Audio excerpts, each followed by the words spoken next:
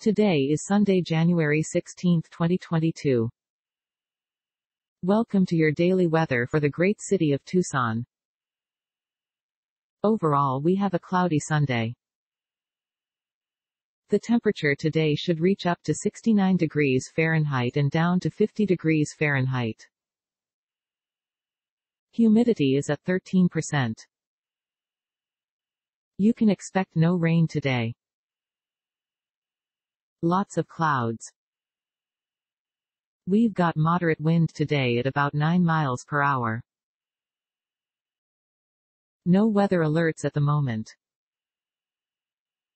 And that's the whole weather report. Have a nice day.